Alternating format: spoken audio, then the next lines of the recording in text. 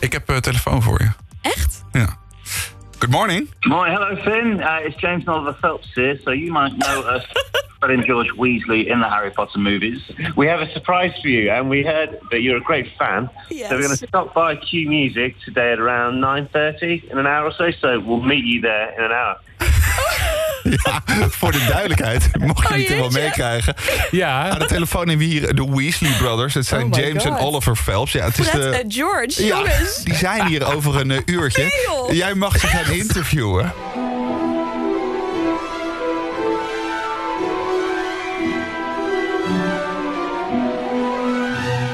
So, James and Oliver, welcome. I'm very excited you guys are here because you guys played Fred and George. Uh, what was your favorite thing about your characters? I liked it that we were given pretty much full range to do what we wanted because we played the pranksters like the class clowns. If we wanted to mess around a bit, we were allowed to because we could just say we're method acting. Even just different stuff like dyeing her hair for so long. What did your mom think of your red hair and eyebrows? She was she was fine with it actually. She said it actually suited us.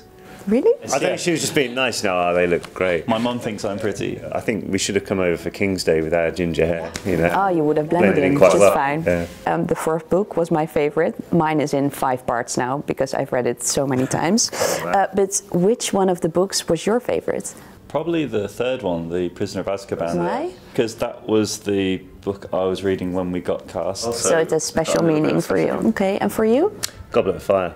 Yeah? Yeah, because it was. I think 'cause it was one of the first big books I'd ever finished, and felt really happy about completing. and I th- as I say, going back to the characters, you know, Fred and George had the, the gambling side of it going on, Yeah. selling stuff, and that's Your part became bigger. Yeah. You guys will be at the exposition in Utrecht. Mm-hmm. Could you guys tell me a little bit about what we can find there? Yeah, so the exhibition is um, a lot of, pro- of costumes and props from the from the movies. Harry's wand, uh, the Marauder's map. You can see Voldemort's, you know, the costumes for that. Uh, there's so like thousands of items there. And are there any things you can do? Because I've heard that you can get sorted by the head Yeah. into the different houses. so we got sorted. Oliver got sorted into Gryffindor, Yeah. which is really handy because I've got all the outfit already. So I've got the scarf. whereas I got sorted into Hufflepuff. Oh, really? So that was a, oh okay. So why was that? I'm a nice person. Some of our listeners also um, posted some questions for me to ask you guys, so I have a few. This one is from Adam, and he said that there is a story going around that you guys have played each other's roles while filming and that you got caught, and then the scenes needed to be redone. We've read that. Is it true? No, it's complete. It's not true? We, uh. I remember reading once that we got caught and they had to refilm the whole first film. Yeah? I think I'd have been fired if that happened. So I'm glad you say that never happened. Sebastian is asking Is there going to be another Harry Potter movie? Uh, I probably won't be in it if it is, because things have happened. Yeah, okay, yeah. Fred dies. Spoiler. Yeah.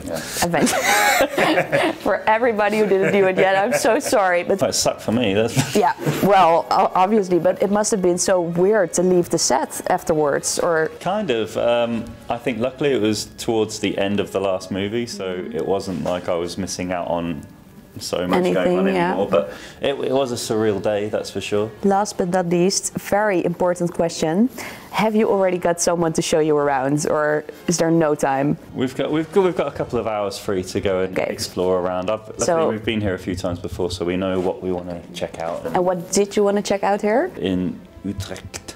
How you pronounce it? I'm still- Utrecht. Utrecht. Yeah, it's difficult. Um, I think you need to do the action when you do it. yeah, Yeah. that. Um, I I really want to climb the, the huge tower that's The there. dome. The dome, yeah. So uh, that should be quite. Well, fun. I'm very athletic. Okay. And free this weekend, so. Just saying. shot. Just saying. Well, thank you guys so much. I really enjoyed having you guys here, and um, I'm looking forward to go to the exhibition. Thank you very Fantastic. much. Thanks, Cheers. Oh jongens, het zit erop. Ik vond het zo mega leuk. Niet normaal. Echt. eh, pff, ik ben er gewoon nog een beetje aan bijkomen. Ik vond het zo spannend. Maar het ging volgens mij best wel goed. Ik eh, ben stiekem een klein beetje verliefd. En dan vooral op George. Had ik dus niet verwacht hè, dat er toch nog zo'n verschil in kan zitten. Maar het kan dus blijkbaar echt. Mattie, super bedankt voor deze mega leuke verrassing. Het was echt een van de leukste vrijdagen die ik ooit heb gehad. Je bent een schatje. Q music. Make us Q.